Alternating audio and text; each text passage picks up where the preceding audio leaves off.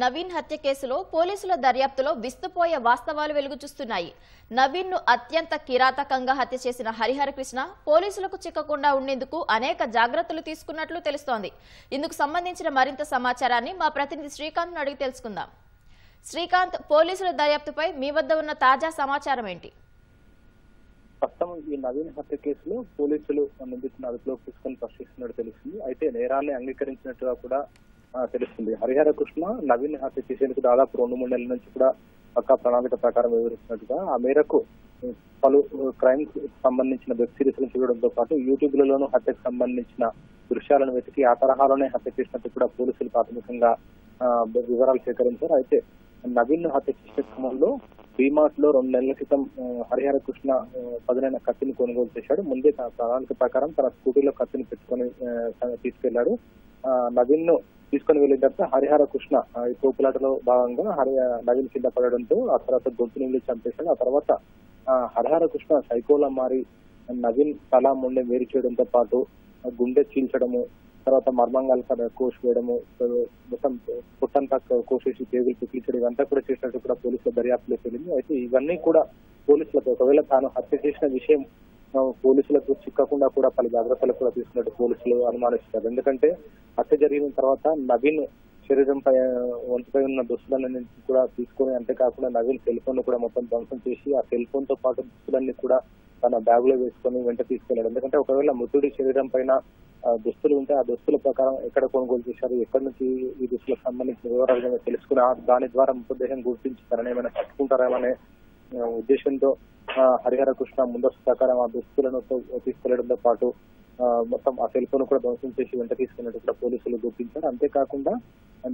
నవీన్ హత్య చేసేందుకు కత్తి ఉపయోగించారు. ఆ కత్తిని పట్టుకునే కంటే ముందే హరిహర కృష్ణ తన చేతికి గ్లౌజులు కూడా వేసుకున్నట్టుగా పోలీసులు గుర్తించారు. ఎందుకంటే సాధారణంగా పోలీసులు హత్యకు ఉపయోగించిన ఆయుధాన్ని స్వాధీనం చేసిన తర్వాత వాటి మీద ఉన్న వేలిముద్రల ఆధారంగా నిందితులు ఎవరనేది గుర్తిస్తారు. అయితే ఇలాంటి అన్ని కూడా పోలీసులు చిక్కకుండా హరిహర కృష్ణ మొత్తం అన్ని జాగ్రత్తలు కూడా తీసుకున్నారు. అందులో దానికోసమే పలు క్రైమ్ వెబ్ సిరీస్ కూడా చూసి ఉంటారని చెప్పి కూడా పోలీసులు అనుమానిస్తున్నారు.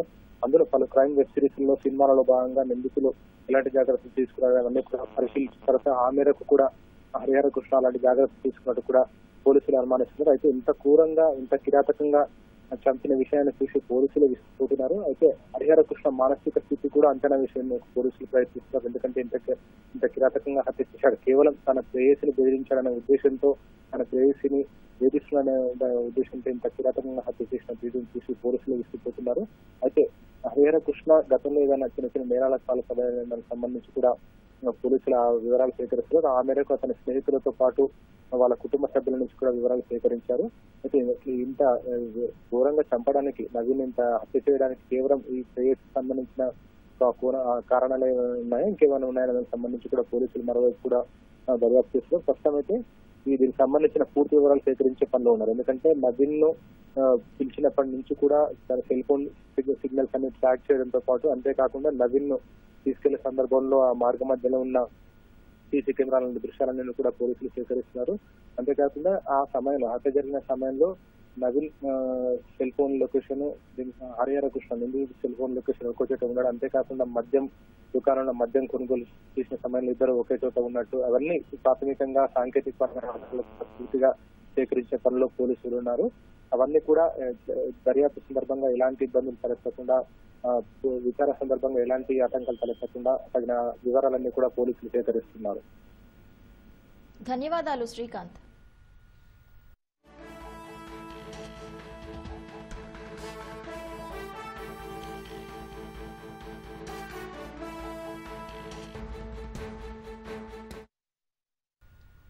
హైదరాబాద్ శివారు అబ్దుల్లాపూర్ మెట్లో హత్యకు గురైన నవీన్ హత్య కేసులో తవ్వే కొద్దీ కొత్త విషయాలు వెలుగులోకి వస్తున్నాయి.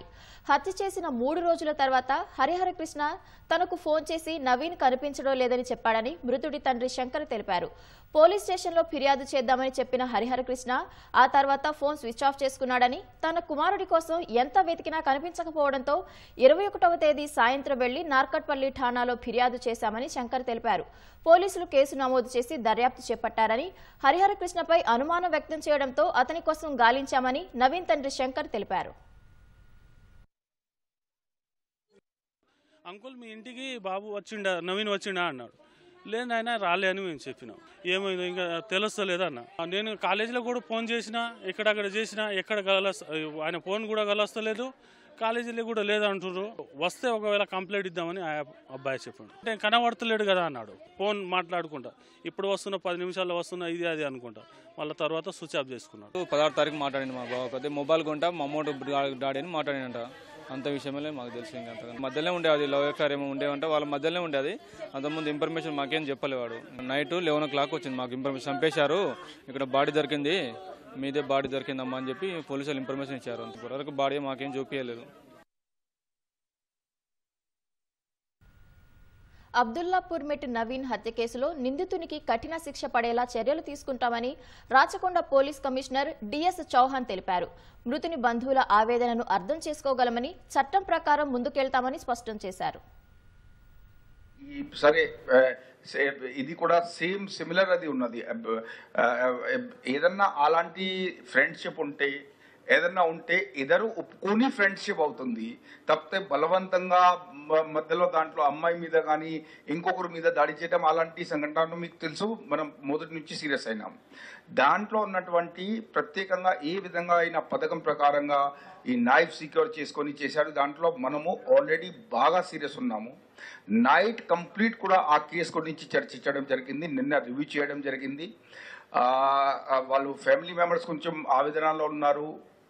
అది సహజమే. మేము కూడా వారికి శ్రద్ధాంజలి చెప్- చెప్తా ఉన్నాం. బట్ వారికి ఒకటే ఒకటే చెప్తా వెళ్తున్నాము. మీరు అందరు ఉన్నారు కాబట్టి అడిగారు కాబట్టి డెఫినెట్గా మీకు ఎంత దాంట్లో దాని గురించి బాధ ఉంది? మనం కూడా ఎంత బాధగా ఫీల్ అయ్యి తప్పకుండా ఆ అక్యూజ్ని మాక్సిమం సెంటెన్స్ అయ్యే విధంగా మనం చేస్తున్నాము. అక్యూజ్ ఆల్రెడీ మన కస్టడీలో ఉన్నారు.